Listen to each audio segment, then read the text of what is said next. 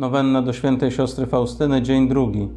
O pragnienie dzielenia się miłosierdziem z innymi.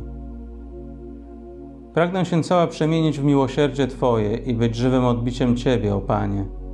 Niech ten największy przymiot Boga, to jest niezgłębione miłosierdzie Jego, przejdzie przez serce i duszę moją do bliźnich. Pan Jezus powiedział do siostry Faustyny: Żądam od Ciebie uczynków miłosierdzia, które mają wypływać z miłości ku mnie. Miłosierdzie masz okazywać zawsze i wszędzie bliźnim. Nie możesz się od tego usunąć ani wymówić, ani uniewinnić. Świadczenie miłosierdzia innym nie było dla niej czymś okazjonalnym, ale było stylem życia, życiową postawą, praktykowaną zawsze i wszędzie. Za wstawieństwem siostry Faustyny prośmy Pana o podobną łaskę.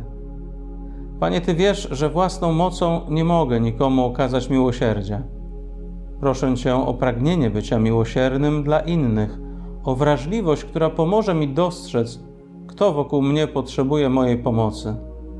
Pomóż mi zobaczyć, jak bardzo mnie obdarowałeś i naucz mnie dzielić się Twoimi darami z innymi.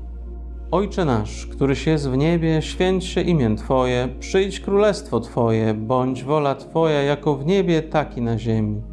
Chleba naszego powszedniego daj nam dzisiaj i odpuść nam nasze winy, jako i my odpuszczamy naszym winowajcom.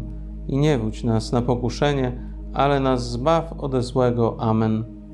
Zdrowaś Maryjo, łaski pełna, Pan z Tobą, błogosławionaś Ty między niewiastami i błogosławiony owoc żywota Twojego Jezus.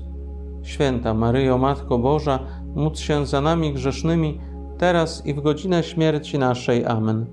Chwała Ojcu i Synowi i Duchowi Świętemu, jak była na początku, teraz i zawsze, i na wieki wieków. Amen. Święta Faustyno, módl się za nami.